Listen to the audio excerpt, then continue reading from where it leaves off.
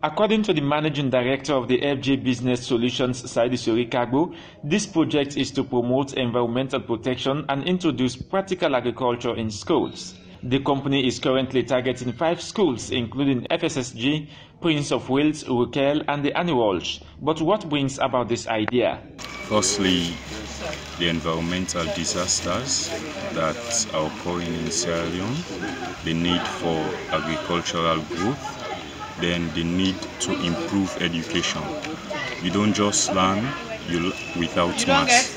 If we are training our children to solve the problems relating to agriculture, they need to learn that practically.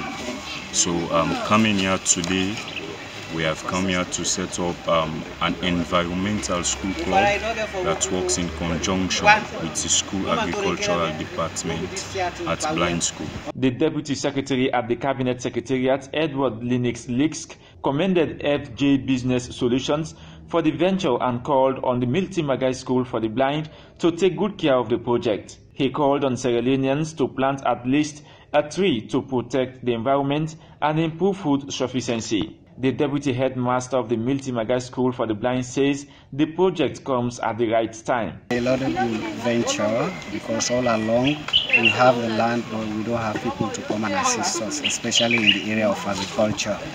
As you can see the trend now in the markets, things are a bit expensive looking at the daily crops that we eat.